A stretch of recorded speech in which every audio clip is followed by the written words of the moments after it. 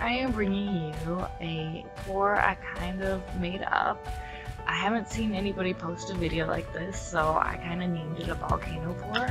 I was inspired by this uh, bottle cap that I found on a sake bottle from my work, and I noticed that it had a cork in the middle, so I figured that'd be cool to like pour on top of so that it would kind of separate the paint instead of let it muddying the paint together. I poured into the cup like I was going to do a tree ring pour, and then I poured the paint out into the cap, the tree ring pour style as well.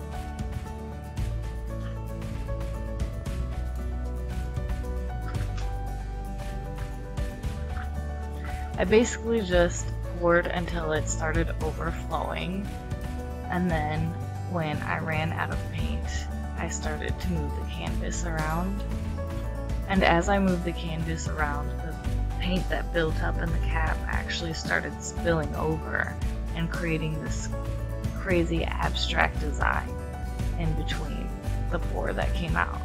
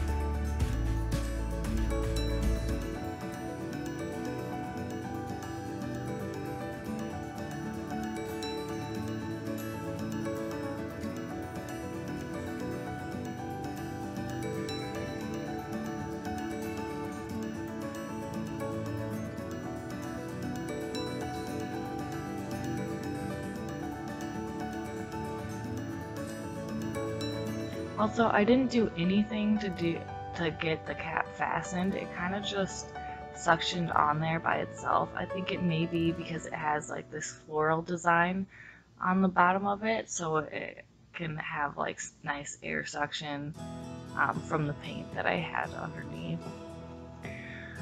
So I pretty much just moved the canvas around until I got almost all the paint completely out until it started kind of dripping and then I knew at that point that I couldn't spill it out anymore.